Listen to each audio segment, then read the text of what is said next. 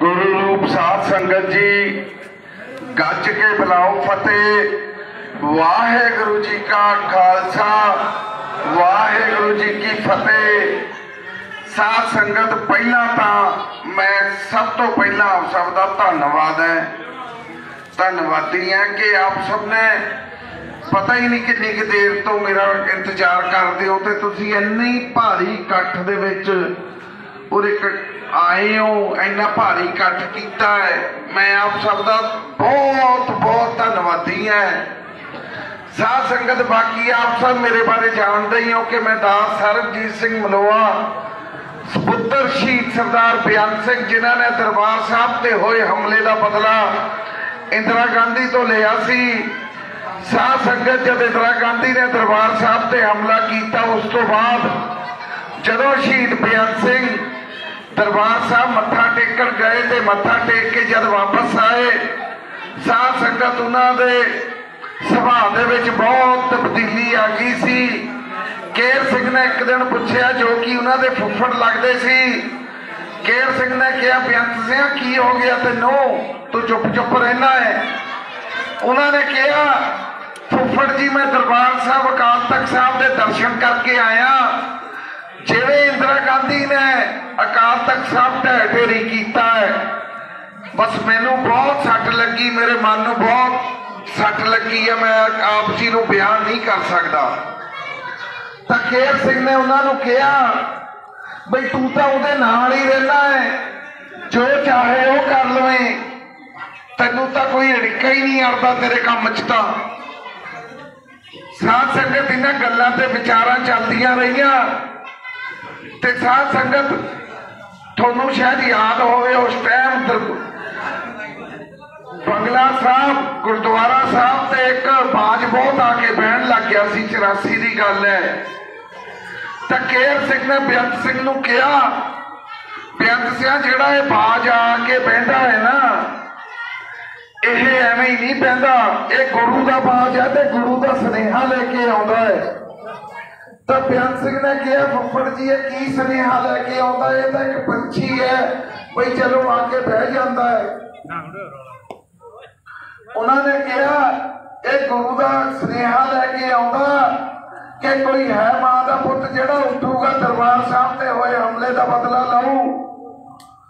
ਸਾਧ ਸੰਗਤ ਉਹਨਾਂ ਨੇ ਗੱਲ ਗੌੜੀ ਅਣਗੌੜੀ ਕਰਤੀ। ਉਹਨਾਂ ਦੇ ਮਨ ਦੇ ਵਿੱਚ ਵਿਚਾਰਾਂ ਜ਼ਰੂਰ ਚੱਲਦੀਆਂ ਸੀ ਕਿ ਇੰਦਰਾ ਗਾਂਧੀ ਤੋਂ ਕਿਵੇਂ ਬਦਲਾ ਲਿਆ ਜਾਏ। ਆਪਸ ਚ ਦੋਨਾਂ ਦੀਆਂ। ਫਿਰ ਸਾਧ ਸੰਗਤ ਯਕੀਨ ਮੰਨਿਓ, ਉਹ ਬਾਜ ਹੌਲੀ ਹੌਲੀ ਇੰਦਰਾ ਗਾਂਧੀ ਦੀ ਕੋਠੀ ਤੇ ਲੱਗ ਗਿਆ ਬਹਿਣ, ਕਦੇ ਕਦੇ। ਸਾਧ ਸੰਗਤ ਥੋੜੀ ਦੇਰ ਬਾਅਦ ਉਹ ਰੋਜ਼ ਹੀ ਆ ਕੇ ਇੱਕ ਥਾਂ ਤੇ ਬਹਿ ਜਿਆ ਕਰੇ ਬਾਜ। ਇੱਕ ਦਿਨ ਬਿਆਨ ਸਿੰਘ ਦੇ ਸਾਡੇ ਪਿਤਾ ਜੀ ਦੇ ਮਨ 'ਚ ਗੱਲ ਆਈ ਬਈ ਜੇ ਇਹ ਵਾਕਿਆ ਹੀ ਗੁਰੂ ਦਾ ਬਾਜ ਹੈ, ਜਿਵੇਂ ਮੈਨੂੰ ਮੇਰੇ ਫੁੱਫੜ ਜੀ ਕੇਰ ਸਿੰਘ ਨੇ ਕਿਹਾ ਹੈ, ਫਿਰ ਇਹ ਸਾਰਿਆਂ ਦੀਆਂ ਦਿਲ ਦੀਆਂ ਗੱਲਾਂ ਜਾਣਦਾ, ਇਹ ਵੀ ਜਾਣਦਾ ਵੀ ਮੇਰੇ ਮਨ ਦੇ ਵਿੱਚ ਕੀ ਹੈ। ਬਈ ਜੇ ਇਹ ਬਾਜ ਹੁਣ ਉੱਡ ਕੇ ਆ ਕੇ ਮੇਰੇ ਮੋਢੇ ਤੇ ਬਹਿ ਜਾਵੇ, ਤਾਂ ਮੈਂ ਇੰਦਰਾ ਗਾਂਧੀ ਤੋਂ ਬਦਲਾ ਜ਼ਰੂਰ ਲਵਾਂਗਾ ਦਰਬਾਰ ਸਾਹਿਬ ਤੇ ਹਮਲੇ ਦਾ। ਸਾਧ ਸੰਗਤ ਉਹਨਾਂ ਨੇ ਇੰਨੀ ਗੱਲ ਸੋਚੀ ਤਾਂ ਉੱਡ ਕੇ ਆ ਕੇ ਬਾਜ ਮੋਢੇ ਤੇ ਬਹਿ ਗਿਆ। ਉਹਨਾਂ ਨੇ ਜਦ ਹੀ ਸਮਝ ਲਿਆ ਬਈ ਮੇਰੇ ਗੁਰੂ ਦਾ ਹੁਕਮ ਹੈ, ਬਈ ਮੈਂ ਹੋਣਾ ਕੰਮ ਕਰਨਾ ਹੀ ਕਰਨਾ ਹੈ। ਇੱਕ ਗੱਲ ਦੱਸ ਦਿੰਦਾ, ਸਾਧ ਸੰਗਤ ਇਹ ਗੱਲ ਜਿਹੜੀਆਂ ਮੈਂ ਗੱਲਾਂ ਆਪ ਜੀ ਨੂੰ ਸਾਰੀਆਂ ਦੱਸ ਰਿਹਾ ਹਾਂ, ਇਹ ਗੱਲਾਂ ਜਿਹੜਾ ਕੇਰ ਸਿੰਘ ਤੇ ਸਤਵੰਤ ਸਿੰਘ ਤੇ ਜਿਹੜਾ ਫਾਂਸੀ ਹੋਈ ਹੈ ਉਹਨਾਂ ਤੇ ਕੇਸ ਚੱਲਿਆ ਸੀ, ਉਸ ਕੇਸ ਦੇ ਵਿੱਚ, ਮਿਸਲ ਦੇ ਵਿੱਚ ਦਰਜ ਹੈ ਸਾਰੀਆਂ ਗੱਲਾਂ। ਸਾਧ ਸੰਗਤ, ਜਦੋਂ ਉਹਨਾਂ ਨੇ ਇਹ ਗੱਲ ਕੇਰ ਸਿੰਘ ਨੂੰ ਦੱਸੀ, ਬਈ ਫੁੱਫੜ ਜੀ, ਮੇਰੇ ਨਾਲ ਤਾਂ ਇਹ ਹੋਇਆ, ਬਈ ਬਾਜ ਮੇਰੇ ਮੋਢੇ ਤੇ ਆ ਕੇ ਬਹਿ ਗਿਆ। ਉਹਨਾਂ ਨੇ ਕਿਹਾ, ਮੈਂ ਤੈਨੂੰ ਦੱਸਿਆ ਤਾਂ ਸੀ ਵੀ ਇਹ ਗੁਰੂ ਦਾ ਬਾਜ ਹੈ ਤੇ ਗੁਰੂ ਦਾ ਹੀ ਸੁਨੇਹਾ ਲੈ ਕੇ ਆਇਆ ਹੈ। ਉਹਨਾਂ ਨੇ ਕਿਹਾ, ਫੁੱਫੜ ਜੀ, ਹੁਣ ਕੀ ਕਰੀਏ ਫੇਰ? ਉਹਨਾਂ ਨੇ ਕਿਹਾ, ਫਿਰ ਹੁਣ ਇੱਕ ਸਿੰਘ ਹੋਰ ਤਿਆਰ ਕਰ ਤੂੰ ਨਾਲ। ਆਪਣੀ ਡਿਊਟੀ ਚੋਂ ਉੱਥੇ ਦੇਖ ਕਿਹੜਾ ਸਿੰਘ ਤੇਰੇ ਨਾਲ ਲੱਗ ਸਕਦਾ ਹੈ। ਉਹਨਾਂ ਨੇ ਇੱਕ ਸਿੰਘ ਬਲਬੀਰ ਸਿੰਘ ਨੂੰ ਪੁੱਛਿਆ। ਬਲਬੀਰ ਸਿੰਘ ਕਹਿੰਦਾ, ਬਾਈ, ਪਹਿਲਾਂ ਤਾਂ ਮੇਰੇ ਨਿਆਣਿਆਂ ਨੂੰ ਅਮਰੀਕਾ ਭੇਜੋ। ਫਿਰ ਉਹਨਾਂ ਦੇ ਖਾਤੇ 'ਚ 2 ਲੱਖ ਰੁਪਈਆ ਜਮ੍ਹਾਂ ਕਰਾਓ। ਬੇਅੰਤ ਸਿੰਘ ਨੇ ਕਿਹਾ ਬਈ ਭਾਈ, ਮੈਨੂੰ ਕਿਸੇ ਨੇ ਪੈਸੇ ਨਹੀਂ ਦੇਣੇ, ਮੈਂ ਕਿਸੇ ਦੇ ਕਹੇ ਤੇ ਕੰਮ ਨਹੀਂ ਇਹ ਕਰਨਾ। ਮੈਂ ਜੋ ਵੀ ਇਹ ਕੰਮ ਕਰਨਾ ਹੈ, ਆਪਣੇ ਗੁਰੂ ਲਈ ਕਰਨਾ, ਆਪਣੇ ਗੁਰੂ ਦਾ ਹੁਕਮ ਮੰਨ ਕੇ ਕਰਨਾ ਹੈ। ਜੇ ਤੂੰ ਰਲਣਾ ਤਾਂ ਸਾਡੇ ਨਾਲ ਰਲ ਜਾ, ਨਹੀਂ ਆਪਣਾ ਮੂੰਹ ਬੰਦ ਰੱਖੀ, ਗੱਲ ਨਾ ਅੱਗੇ ਕਰੀ ਕਿਸੇ ਨਾਲ। ਉਹ ਜਵਾਬ ਦੇ ਗਿਆ, ਫਿਰ ਕੇਰ ਸਿੰਘ ਨੇ ਕਿਹਾ, ਚਲ ਹੋਰ ਬੰਦੇ ਨਾਲ ਗੱਲ ਕਰ ਲੈ। ਉਹਨਾਂ ਨੇ ਜਦ ਸਤਵੰਤ ਸਿੰਘ ਨੂੰ ਪੁੱਛਿਆ, ਸਤਵੰਤ ਸਿੰਘ ਜਦੀ ਤਿਆਰ ਹੋ ਗਿਆ ਬਿਨਾਂ ਕਿਸੇ ਲਾਲਚ ਤੋਂ। ਸਾਧ ਸੰਗਤ ਫਿਰ ਕੇਰ ਸਿੰਘ ਜਿਨ੍ਹਾਂ ਨੇ ਪਹਿਲੇ ਹੀ ਅੰਮ੍ਰਿਤ ਛਕਿਆ ਸੀ 18 ਤਰੀਕ ਨੂੰ ਬੇਅੰਤ ਸਿੰਘ ਤੇ ਸਤਵੰਤ ਸਿੰਘ ਦੋਨਾਂ ਨੂੰ ਅੰਮ੍ਰਿਤ ਛਕਾਇਆ, ਗੁਰੂ ਦੇ ਲੜ ਲਾਇਆ। ਉਸ ਤੋਂ ਬਾਅਦ ਥੋੜੇ ਦਿਨਾਂ ਬਾਅਦ ਉਹ ਦਰਬਾਰ ਸਾਹਿਬ ਗੁਰੂ ਤੋਂ ਆਸ਼ੀਰਵਾਦ ਲੈਣ ਗਏ ਅੰਮ੍ਰਿਤਸਰ। ਉੱਥੇ ਉਹਨਾਂ ਨੇ ਜਿੱਥੇ ਮੀਰੀ ਪੀਰੀ ਦੇ ਦੋ ਨਿਸ਼ਾਨ ਸਾਹਿਬ ਲੱਗੇ ਹੈ, ਉਹਨਾਂ ਨਿਸ਼ਾਨ ਸਾਹਿਬ ਤੇ ਖੜ ਕੇ ਅਰਦਾਸ ਕੀਤੀ, ਸੱਚੇ ਪਾਤਸ਼ਾਹ, ਗੁਰੂ ਹਰਗੋਬਿੰਦ ਮਹਾਰਾਜ ਜੀ, ਗੁਰੂ ਰਾਮਦਾਸ ਜੀ, ਸਾਨੂੰ ਬਲ ਬਖਸ਼ੋ, ਅਸੀਂ ਜਿਹੜੀ ਤੁਹਾਡੀ ਬੇਅਦਬੀ ਕੀਤੀ ਹੈ ਇੰਦਰਾ ਗਾਂਧੀ ਨੇ, ਉਹਦਾ ਬਦਲਾ ਲੈ ਸਕੀਏ। ਦਿੱਲੀੋਂ ਆ ਕੇ 31 ਅਕਤੂਬਰ ਨੂੰ ਉਹਨਾਂ ਨੇ ਇੰਦਰਾ ਗਾਂਧੀ ਨੂੰ ਉਹਦੀ ਕੀਤੀ ਦਾ ਫਲ ਭੁਗਤਾਇਆ।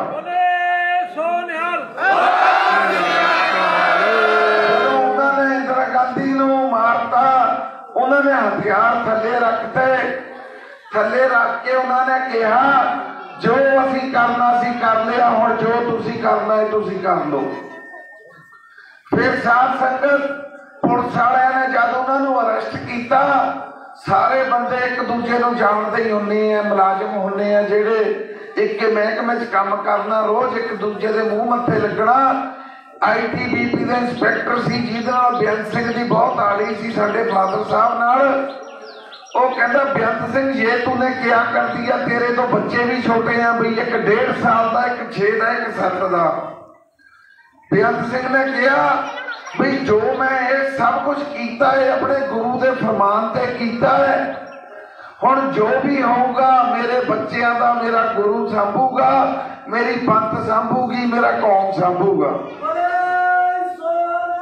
ਨਿਹਾਲ ਸਾਧ ਸੰਗਤ ਅੱਜ ਮੈਂ ਉਸੇ ਪੰਥ ਉਸੇ ਸਿੱਖ ਕੌਮ ਦੇ ਅੱਗੇ ਖੜਾ ਹੈ ਮੈਂ ਆਪ ਸਭ ਤੋਂ ਆਸ ਕਰਦਾ ਕਿ ਆਪ ਸਭ ਮੇਰੇ ਮਾਤਾ ਪਿਤਾ ਭੈਣ ਭਾਈ ਆਪ ਸਭ ਮੇਰੇ ਸਭ ਕੁਝ ਹੀ ਹੋ ਮੇਰੇ ਪਿਤਾ ਜੀ ਤੁਹਾਡੇ ਹਵਾਲੇ ਕਰਕੇ ਸਾਨੂੰ ਗਏ ਸੀ ਮੈਂ ਆਸ ਕਰਦਾ ਕਿ ਆਪ ਸਭ ਮੇਰਾ ਸਾਥ ਦਵੋਗੇ ਸਾਧ ਸੰਗਤ ਵੋਟਾਂ ਵਾਲੀ ਕੋਈ ਵੱਡੀ ਗੱਲ ਨਹੀਂ ਹੈ ਪੰਜਾਬ ਦੇ ਵਿੱਚ 2.5 ਸਾਲ ਬਾਅਦ ਵੋਟਾਂ ਹੋਣੀਆਂ ਹੈ ਹੁਣ ਵੋਟਾਂ ਹੈ 2024 ਚ, ਫਿਰ 27 ਚ, ਫਿਰ 2.5 ਸਾਲ ਬਾਅਦ ਵੋਟਾਂ, ਫਿਰ 2.5 ਸਾਲ ਬਾਅਦ ਵੋਟਾਂ। ਸਾਧ ਸੰਗਤ, ਮੈਂ ਇੱਕੇ ਵਾਰ ਤੁਹਾਡੇ ਕੋਲ ਵੋਟ ਮੰਗਣ ਆਇਆ। 2024 ਚ, ਇਸ ਤੋਂ ਬਾਅਦ ਨਹੀਂ ਤੁਹਾਨੂੰ ਕਦੇ ਆ ਕੇ ਕਹੂੰਗਾ ਵੀ ਮੈਨੂੰ ਵੋਟ ਪਾਓ। ਸਾਧ ਸੰਗਤ, ਇਸ ਵਾਰੀ ਤੁਹਾਨੂੰ ਮੇਰਾ ਸਾਥ ਦੇਣਾ ਬਣਦਾ, ਮੈਂ ਵੀ ਕਿਸੇ ਹੱਕ ਨਾਲ ਤੁਹਾਨੂੰ ਕਹਿ ਸਕਦਾ ਹਾਂ, ਮੇਰੇ ਵੀ ਪਿਤਾ ਜੀ ਮੈਨੂੰ ਤੁਹਾਡੇ ਹਵਾਲੇ ਕਰਕੇ ਗਏ ਸੀ, ਤੁਸੀਂ ਹੋ ਮੇਰਾ ਸਭ ਕੁਝ ਹੋ। ਮੈਂ ਦੁਬਾਰਾ ਨਹੀਂ ਵੋਟ ਲਈ ਆ ਕੇ ਤੁਹਾਨੂੰ ਕਹੂੰਗਾ ਭਈ ਆ ਮੇਰੇ ਬੰਦੇ ਖੜੇ ਆ, ਇਹਨਾਂ ਨੂੰ ਵੋਟ ਪਾਓ। ਸਾਧ ਸੰਗਤ, ਇਸ ਵਾਰੀ ਤੁਸੀਂ ਮੈਨੂੰ ਆਸ਼ੀਰਵਾਦ ਦਿਓ, ਮੇਰਾ ਸਾਥ ਦਿਓ। ਮੈਨੂੰ ਕਾਮਯਾਬ ਕਰੋ ਤਾਂ ਕਿ ਜੋ ਮੈਂ ਪਾਰਲੀਮੈਂਟ ਦੇ ਵਿੱਚ ਜਾ ਕੇ ਜੋ ਵੀ ਤੁਹਾਡੀਆਂ ਹੱਕਾਂ ਮੰਗਾਂ ਹੈ ਉਹਨਾਂ ਦੀ ਆਵਾਜ਼ ਆਪਾਂ ਪਾਰਲੀਮੈਂਟ ਦੇ ਵਿੱਚ ਚੱਕ ਸਕੀਏ, ਜੋ ਪੰਜਾਬ ਦੇ ਵਿੱਚ ਨਸ਼ਿਆਂ ਦਾ ਜਾਲ ਕਿਸਾਨਾਂ ਦੇ ਮੁੱਦੇ ਲੇਬਰ ਕਲਾਸ ਦੇ ਮੁੱਦੇ, ਗਰੀਬਾਂ ਦੇ ਮੁੱਦੇ, ਜੋ ਵੀ ਹੈ, ਆਪਾਂ ਸਾਰੇ ਬੰਦੀ ਸਿੰਘਾਂ ਦੇ ਮੁੱਦੇ ਆਪਾਂ ਸਾਰੇ ਪਾਰਲੀਮੈਂਟ ਦੇ ਵਿੱਚ ਚੱਕ ਸਕੀਏ। ਬਾਕੀ ਸਾਰ ਸੰਗਤ ਆਪ ਸਭ ਜਾਣਦੇ ਹੋ, ਜਿਨ੍ਹਾਂ ਨਾਲ ਆਪਣੀ ਲੜਾਈ ਹੈ, ਉਹ ਸਾਰੇ ਬੰਦੇ ਬਹੁਤ ਸਰਮਾਏਦਾਰ ਹੈ।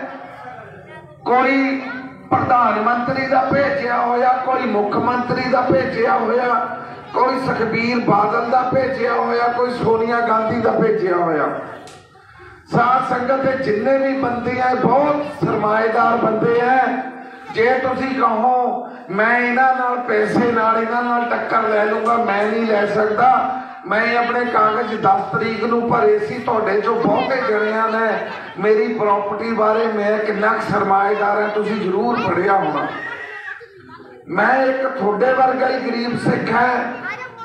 ਸਾਧ ਸੰਗਤ ਜੀ, ਪਰ ਮੈਂ, ਜੇ ਤੁਸੀਂ ਮੇਰਾ ਸਾਥ ਦੇ ਦੋ, ਤਾਂ ਉਹ ਆਪਣਾ ਮੁਕਾਬਲਾ ਨਹੀਂ ਕਰ ਸਕਦੇ। ਜੇ ਆਪਾਂ ਸੋ ਆਪਾਂ ਉਹਨਾਂ ਦਾ ਸਰਮਾਏ 'ਚ ਨਹੀਂ ਮੁਕਾਬਲਾ ਕਰ ਸਕਦੇ, ਫਿਰ ਸਾਡੇ ਨਾਲ ਵੋਟਾਂ 'ਚ ਨਹੀਂ ਮੁਕਾਬਲਾ ਕਰ ਸਕਦੇ ਜੇ ਤੁਸੀਂ ਮੇਰੇ ਨਾਲ ਹੋ। ਸਾਧ ਸੰਗਤ, ਮੈਂ ਆਪ ਸਭ ਅੱਗੇ ਇੱਕ ਬੇਨਤੀ ਕਰਦਾ ਕਿ ਆਪ ਜਿੰਨੇ ਵੀ ਸਿੰਘ ਉਰੇ ਮੌਜੂਦ ਹੋ, ਤੁਸੀਂ ਸਾਰਿਆਂ ਨੇ ਇੱਕ ਜਣੇ ਨੇ 10 ਜਣਿਆਂ ਨੂੰ ਸੁਨੇਹਾ ਲਾਉਣਾ ਹੈ। ਉਹ 10 ਜਣਿਆਂ ਨੂੰ ਸੁਨੇਹਾ ਲਾਉਣਾ ਜਿਨ੍ਹਾਂ ਨੂੰ ਮੇਰੇ ਬਾਰੇ ਨਹੀਂ ਪਤਾ, ਮੇਰੇ ਪਰਿਵਾਰਕ ਪਿਛੋਕੜ ਬਾਰੇ ਨਹੀਂ ਪਤਾ ਉਹਨਾਂ ਨੂੰ ਮੇਰੇ ਤੇ ਮੇਰੇ ਪਰਿਵਾਰਕ ਪਿਛੋਕੜ ਬਾਰੇ ਦੱਸਣਾ ਹੈ। ਜੇ ਤਾਂ ਉਹ ਗੁਰੂ ਦਾ ਸਿੱਖ ਹੋਇਆ ਕਾਲ ਤੱਕ ਸਾਹਿਬ ਨੂੰ ਨਤਮਸਤਕ ਹੁੰਦਾ ਹੋਇਆ, ਤਾਂ ਤੁਹਾਡੇ ਨਾਲ ਜ਼ਰੂਰ ਚੱਲੂਗਾ, ਆਪਣਾ ਸਾਥ ਜ਼ਰੂਰ ਦਊਗਾ।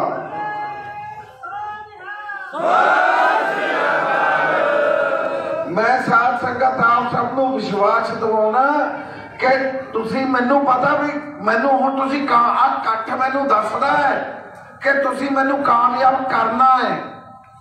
ਇੰਨਾ ਇਕੱਠ ਐਵੇਂ ਨਹੀਂ ਹੁੰਦਾ। ਜੇ ਤੁਹਾਡੇ ਮਨ ਦੇ ਵਿੱਚ ਮੈਨੂੰ ਦੇਖਣ ਦੀ ਮੈਨੂੰ ਮਿਲਣ ਦੀ ਤਾਂਗ ਹੈ ਤੁਸੀਂ ਤਾਂ ਹੀ ਉਰੇ ਆਏ ਹੋ। ਜੇ ਤੁਸੀਂ ਮੇਰੇ ਨਾਲ ਚੱਲਣਾ ਹੈ ਮੇਰਾ ਸਾਥ ਦੇਣਾ ਹੈ ਤਾਂ ਹੀ ਤੁਸੀਂ ਆਏ ਹੋ ਨਹੀਂ ਕੋਈ ਕਿਸੇ ਦੀ ਸ਼ਕਲ ਦੇਖਣ ਨਹੀਂ ਜਾਂਦਾ। ਸਾਥ ਸੰਗਤ ਮੈਨੂੰ ਵਿਸ਼ਵਾਸ ਹੈ ਤੁਸੀਂ ਮੇਰਾ ਸਾਥ ਦਵੋਗੇ ਤੇ ਮੈਨੂੰ ਵੀ ਪੂਰੀ ਆਸ ਹੈ ਕਿ ਤੁਸੀਂ ਮੇਰਾ ਸਾਥ ਦਵੋਗੇ। ਬਸ ਇੱਕ ਬੇਨਤੀ ਜਿਹੜੀ ਮੈਂ ਕੀਤੀ ਹੈ, ਤੁਹਾਨੂੰ ਸੁਨੇਹੇ ਲਾਉਣ ਦੀ, ਇਹ ਵੱਧ ਤੋਂ ਵੱਧ ਤੁਸੀਂ ਸੁਨੇਹੇ ਲਾਉਣੇ ਹੈ।